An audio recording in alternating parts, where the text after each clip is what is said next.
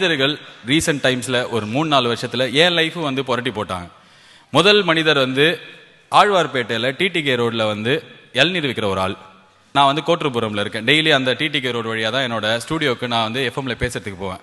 செவ்வல் நீர் இருபது இருபத்தஞ்சு ரூபாய் சாதா இளநீர் இருபது ரூபாய் அப்படின்னு சொல்லிட்டு ஒரு ரோடு ஓரமாக உட்காந்து இளநீர் வித்துருந்தாரு எனக்கு செம ஆச்சரியம் செம ஷாக் அடையாறில் இளநீர் வாங்கி கொடுக்கணும் அப்படின்னா வேளச்சேரி பக்கத்தில் வீடை வைக்கணும். கிட்டத்தட்ட ஒரு இளநீர் வந்து ஐம்பது ரூபா அறுபது ரூபான்ற மாதிரி விற்பாங்க இந்த ஆள் என்னடானா இருபது ரூபாய் இருபத்தஞ்சு ரூபாய்க்கு இளநீர் வைக்கிறாருன்னு சொல்லிட்டு ஒரு மூணு நாள் இப்படியே பார்த்துனே போனேன்.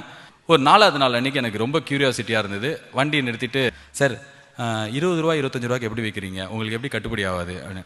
உடனே அவர் சொன்னார் இல்லை சார் ஒரு பத்து வருஷமாக வந்து இந்திய உணவுகளை குறிங்க இளநீரை சாப்பிடுங்க உடம்புக்கு நல்லதெல்லாம் சொன்னேன் எவனும் கேட்கல ஒரு நாளைக்கு நூறு காய் வைப்பேன்.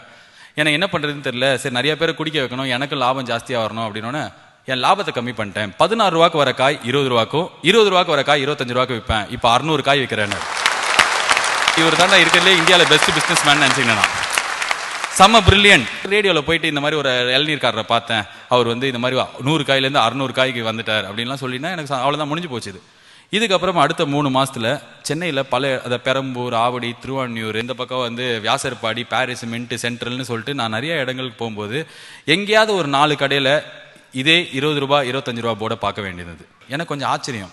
நான் இந்த ஆளை தேடினேன் கிடைக்கல. திருப்பி வந்து ஒரு எதேச்சியாக வந்து ஒரு ஒரு மாதம் கழித்து நான் போகும்போது இதே ஆள் நின்றுருந்தாரு. சார் சார் சார் சார் உங்களை தான் தேடினேன் ஒரு மாசமான்னு சொல்லிட்டு அவர்கிட்ட போய் கேட்டேன் சார் இருபது ரூபாய் இருபத்தஞ்சு ரூபாய்க்கு விற்றீங்க என்னாச்சு அதுக்கப்புறம்? எப்படி நிறைய இடத்துல கம்மி பண்ணாங்கன்னா அவருக்கு தெரில அவர் இல்லை சார் பக்கத்தில் இருக்கிற பத்து கடைக்காரங்க என்னை வந்து கேட்டாங்க மிரட்டினாங்க. நீ ஒண்டி புத்திசாலி நாங்களாம் முட்டாளா? லாபத்தை கம்மி பண்ணால் எங்களுக்கு அதே நூறு காய் தானே விற்குது ஜாஸ்தி பண்ணு விளையாடினாங்க நான் பண்ணல. ஆனால் நான் கண்- கம்மி பண்ண மாட்டேன் அப்படின்னதுக்கப்புறம் வேறு வழி இல்லாமல் அவங்க பண்ணாங்க. அது வரைக்கும் தான் எனக்கு தெரியும். அவங்களுக்கும் ஆனால் இப்போ ஒரு ஐநூறு அறநூறுக்காய் விற்கும் சார் நாங்கள் ஒரு ஆள் அந்த ஆள் வந்து ஒரு செலிபிரிட்டி ஷாருக் கான் கிடையாது ஒரு அமிதாப் பச்சன் கிடையாது. டிவியில் போய் பிரச்சாரம் பண்ணல. இந்திய பானங்களை பருகுங்கள் அப்படின்ற மாதிரி எந்த ஆட்லையும் வரல.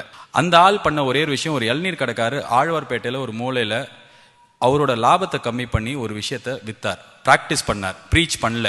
அதனால சென்னையில் ஒரு முப்பது நாற்பது சதவீத இடங்களில் கடையில் இது கம்மி ஆயிருக்கு. இது செயினாக தான் மாறி இருக்கு எந்த பேப்பர் எந்த சேனல் எந்த யாருமே ரிப்போர்ட் பண்ணாத ஒரு விஷயம். ஆனால் இது நிஜமாலே சென்னையில் நடந்திருக்கு. நான் வந்து பத்து